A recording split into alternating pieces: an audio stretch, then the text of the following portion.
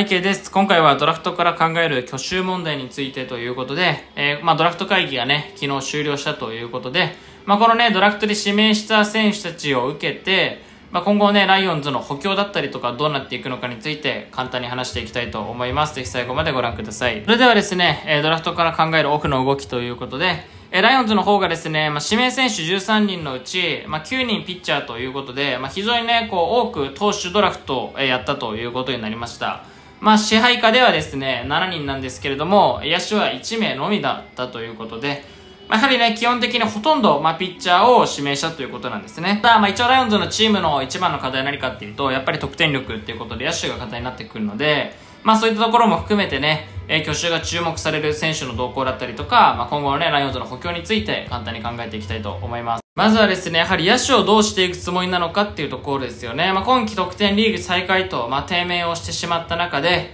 まあ、やっぱりね、野手が一番課題となってくるライオンズ。ただドラフトでは、まあ、野手の即戦力ってところはほとんど指名がありませんでした。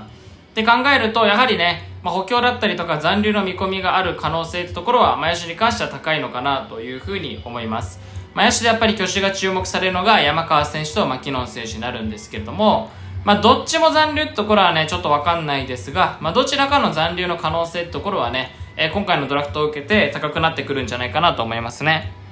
やっぱり野手がね、誰かじゃあ、戦力ダウンってことになってしまうと、まあ、全然ドラフトであの野手を指名してもね、おかしくなかったとは思うんですけれども、まあそういったことが今回はなかったということなので、まあ昨シーズンはね、森友哉選手が移籍してしまうところでね、蛭間選手を獲得したりとかってことがあったんですが、まあ今回はね、そういったことがなかったので、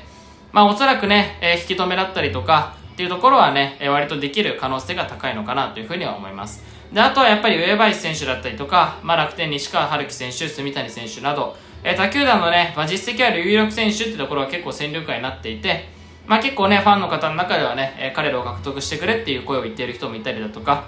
するので、まあそういったね、選手たちの獲得に動く可能性っていうところもね、えー、あるのかなというふうに思うし、まあ実際に住谷選手に関しては、もうすでにね、獲得調査をしているという報道が出ました。で、まずね、えー、考えていきたいところが、まあ、住谷選手の獲得というところですね。まあ、ここに関してはね、僕的には、まあ、ほぼほぼもう決定的なのかなというふうに思います。えライオンズはね、実はキャッチャー事情ってところは結構厳しくて、まあ一番手としては古賀選手が成長を遂げてきているんですが、まあ柘選手が手術をしてしまったりだとか、まあ本当にね、岡田選手もまあ来シーズンプレーできるのかもちょっとわかんなくて、まあ本当に故障者ってところは非常に多くてですね、まあ人員的にかなり厳しいんですよね。ただそういった状況の中でも、まあドラフトでキャッチャーを指名するってことがなかったので、おそらくすでに獲得調査をしている住谷選手のライオンズ入りってところは、まあ、ほぼほぼ決定的と言っていいんじゃないかなというふうには思いますね。やはりね、一番注目されるところがやっぱり山川選手なんですけれども、山川選手に関しては今回の野手の即戦力獲得は少なかったとは言っても、まあ、残留確定的、決定的とまではね、さすがに言えないかなと思います。まあ、結構微妙なところかなと思いますね。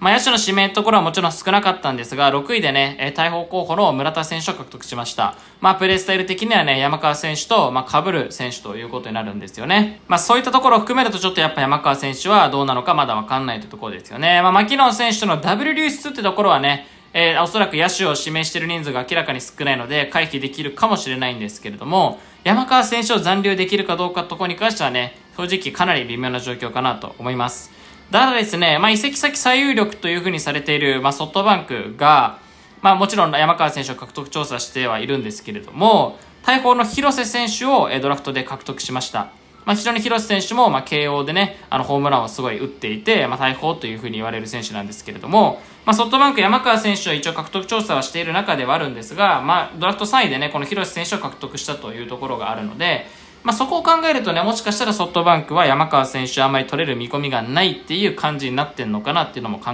えられますよね。だから正直ね、ちょっと何とも言えない状況ではあるんですけれども、まあ本当にね、今回のライオンズのオフっていうところを考えると、この山川選手が、まあ、残るか残らないかっていうところが僕は一番大きいかなというふうに思ってます。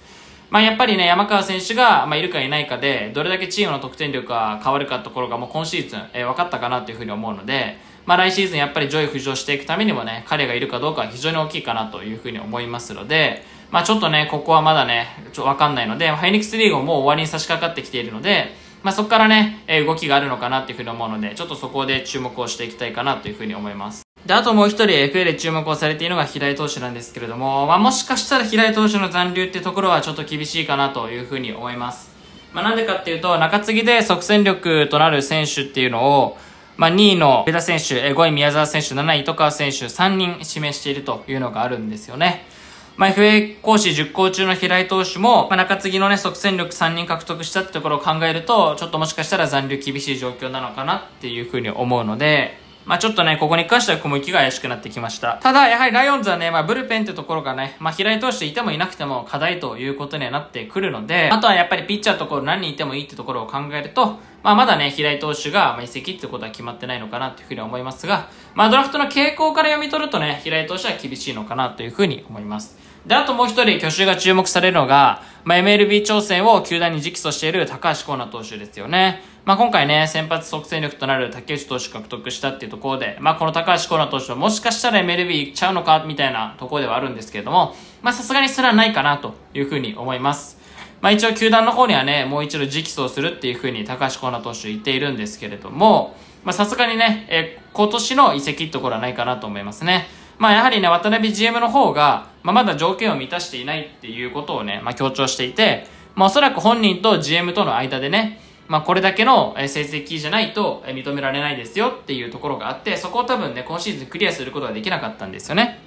で、そこを、まあ GM もね、言っていて、まあ本人もおそらくそこに関しては納得していると思うっていうふうに言っていたので、まあもう一回ね、本人と交渉はするとは思うんですけれども、まあもう認めない意向っていうところをね、GM が明らかにしていますので、まあ交渉はするけれども、まあ本人とね、しっかりまた来シーズンも頑張るようにっていう話をして、まあ終わるんじゃないかなっていうふうに思うので、まあ高橋光成投手に関しては、えー、残留濃厚かなというふうに思います。まあなのでやはり気になるところとしては、まあ住谷選手はおそらくもう獲得はできると思うんですが、山川選手と平井投手というところですよね。ここに関してはね、まだまだ FA のね、シーズンってところが始まってきてないですから、まあ今後ね、えー、まあ、球団とも交渉していくと思うので、まあ、挙手ところをね、えー、注目していきたいかなというふうに思います。以上です。はい、今回も最後までご視聴ありがとうございました。えー、今後もライオンズに関する動画アップしていきますので、いいと思った方はぜひチャンネル登録の方よろしくお願いします。ありがとうございました。